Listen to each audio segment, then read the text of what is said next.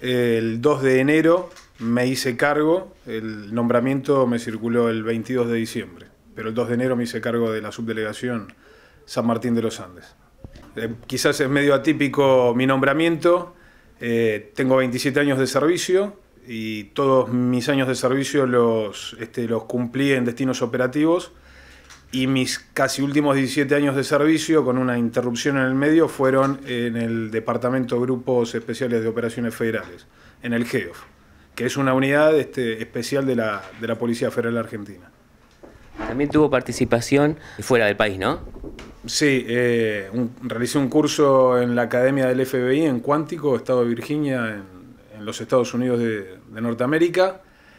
y participé como disertante en la Academia de las Fuerzas Especiales de la Policía Popular Armada en Beijing, China. Además de haber realizado bueno, cursos con, con unidades especiales del ejército norteamericano y con fuerzas, fuerzas armadas del país como, como la agrupación de comandos anfibios, eh, el equipo de control de combate operativo, el, el ECO de lo que es la Fuerza Aérea y algunos otros cursos más las tareas de la Policía Federal eh, son muchas, ¿no? Pero generalmente la gente enseguida cuando piensa en la Policía Federal piensa en la lucha del narcotráfico, ¿no? Eh, ¿Cómo se está combatiendo esto o cómo se va a encarar eh, a partir de su nueva gestión? Bueno, tenemos la subdelegación San Martín de los Andes, depende del área sexta con asiento en Santa Rosa La Pampa, y a su vez esta área depende de la Superintendencia de, de Interior, la cual tiene directivas expresas del Comando Institucional, del Comando Jefatura, encabezado por el comisario general Néstor Roncaglia, de este, combatir y dar eh, lucha sin cuartel eh, a todo lo que tiene que ver con el delito de narcotráfico. Y en ese sentido tratamos, o desde que me hice cargo de la dependencia, de tener desde eh, lo que es el municipio, eh, con la participación, o con, mejor dicho, con, la colaboración del, señor Raúl Pérez, el subsecretario de Seguridad, junto con el Escuadrón 33, junto con la Policía de Seguridad Aeroportuaria, con la Prefectura Naval, con la Comisaría Local, con la Policía de la Provincia de Neuquén, en lo que es el Consejo de Seguridad y eh, también por directivas del gobernador de la provincia de Neuquén, eh, tratar de articular este, y, como dicen en lo que es administración de empresas, usar de manera eficaz y eficiente los recursos humanos y materiales de todas las fuerzas para poder combatir eh, todos juntos y de manera más eficiente eh, este flagelo que nos azota a, toda la sociedad argentina, que es el narcotráfico. Bueno, hace muy pocos días que usted está a cargo, eh, pero ya estuvo viendo estadísticas en, San Martín de los Andes y la región que, tiene jurisdicción eh, y comparándola con otros lugares en que estuvo, ¿cómo, cómo está en este lugar? Me sorprendió, sé que, que, Neuquén tiene un problema con la provincia en sí, con el, con el tema del, alcoholismo, eh, y me sorprendió el tema de, de la estadística que me han presentado en otros municipios, la jurisdicción de esta de esta unidad abarca el departamento Coyuncurá, del cual es parte Picún Leufú, Piedra del Águila, eh, Huiliches, Lácar, Los Lagos, Aluminé, y en algunos que he ido a visitar, que son los más este, alejados del asiento de esta dependencia, me ha sorprendido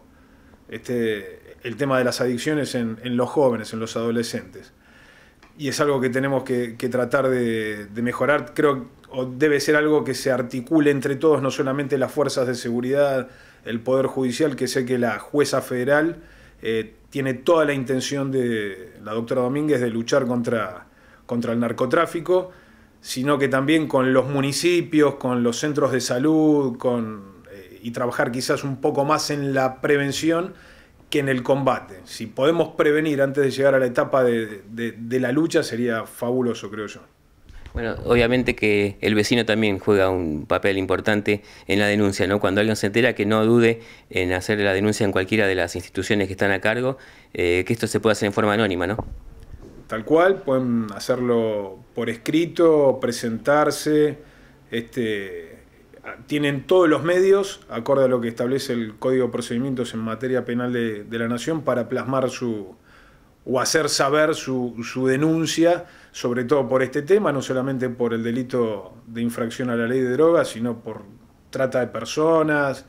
por contrabando. Las dependencias federales nos abocamos específicamente a los delitos de índole federal, por eso somos auxiliares de la justicia federal, eventualmente lo somos de la justicia local si así, si así se lo requiere,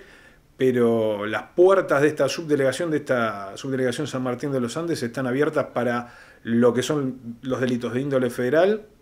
Eh, pueden plasmar tranquilamente la denuncia y si no, bueno, eh, ya saben, este, ante la justicia federal u otras fuerzas como la Gendarmería, la Prefectura Naval, la, Policía de Seguridad eh, Aeroportuaria, somos todos órganos federales que estamos capacitados para recepcionar ese tipo de denuncias. Bueno, un mensaje a la comunidad. Espero que la comunidad confíe en su Policía Federal, que tiene representación en todo el territorio de la nación, que es una de las primeras instituciones que nació con, la patria eh, y que estamos para, en el buen sentido, para servir a la comunidad. Eh, siempre el Policía Federal va a estar dispuesto y sobre todo ayudar a la comunidad de San Martín de los Andes donde tiene su asiento y a todos los departamentos donde esta